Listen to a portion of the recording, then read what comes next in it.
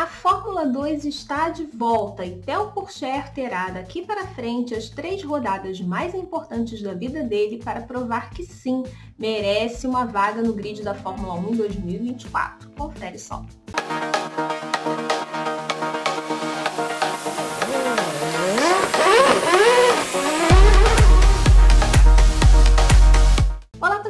Bem? Seja bem-vindo ao Grande Prêmio. Meu nome é Luana Marino. Se você é novo por aqui, aquele convite de sempre para você, claro, primeiro fazer a sua inscrição aqui no nosso canal, também deixar o seu like, compartilhar esse vídeo, ativar as notificações tanto aqui no YouTube quanto no seu celular, para você não perder nada do que a gente posta por aqui diariamente.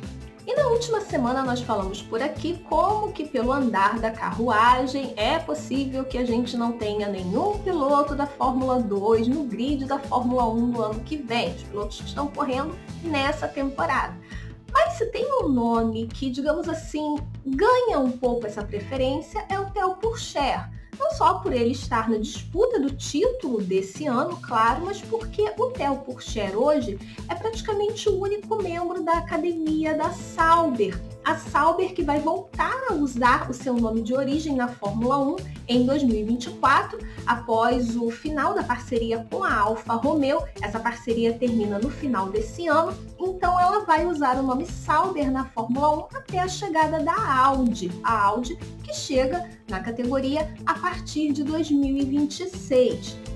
Só que o chefe do time, o Alessandro Bravi, deu algumas declarações recentes dizendo que ele gosta de trabalhar com estabilidade e dando indícios de que uma renovação com o Guan Zhou está nos planos. O Valtteri Bottas já está certo, então a vaga ainda em aberto lá na Alfa Romeo é a vaga do Guan Zhou. É por isso que o Pourchaire ele vai ter de encarar essas próximas três etapas da temporada 2023 da Fórmula 2 como as etapas mais importantes da vida dele.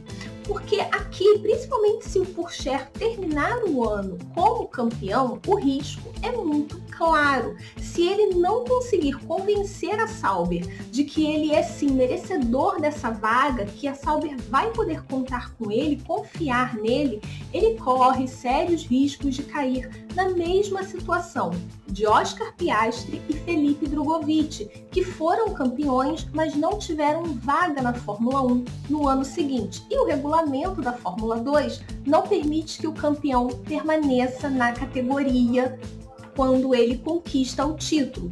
Agora, será que o Theo Pourchaire ele é um cara que realmente merece uma vaga na Fórmula 1? Bom, eu acredito que sim. Ele já está no seu terceiro ano de Fórmula 2. Ele tem um vice-campeonato já na conta na categoria, foi no ano passado. É, tá brigando pelo título de novo esse ano e o Pourchaire mostrou uma franca evolução de 2022 para cá. Ele vem cometendo menos erros, ele tem é, conseguido é, corridas muito mais consistentes, tem se destacado pela regularidade na conquista dos pontos, os pódios, tanto que ele conseguiu capitalizar em cima dos problemas do Frederic Veste e foi para as férias na liderança da competição. Claro que o carro da Alfa Romeo não é nenhuma maravilha, mas considerando que alguns pilotos da Fórmula 1 não é nenhuma surpresa a gente ver assim um tempo de vida útil de duas temporadas, eu acho que caberia sim uma oportunidade ao Theo Pourchaire para ele mostrar é, se de fato ele é um piloto que pode permanecer também na Fórmula 1. Holanda, Itália e Abu Dhabi são as etapas restantes, então talvez seja até a hora do Pourchaire deixar um pouquinho o conservadorismo de lado em algumas disputas de pista, principalmente quando valer um pódio, uma vitória, porque ele tem um dos melhores carros do grid atual nas mãos, que é o carro da Grand Prix. Ele vai ter de fazer isso, vai ter de ser muito mais arrojado do que às vezes ele demonstra ser é, em situações de corrida para que ele mostre na prática que sim, ele é merecedor dessa vaga. Senão, ele vai ficar pelo meio do caminho. Mas agora eu quero saber o que, que você acha sobre o Theo Pourchaire e se ele tem sim chances de aparecer na Fórmula 1 no ano que vem. Deixa aí nos comentários. Eu vou ficando por aqui e até a próxima!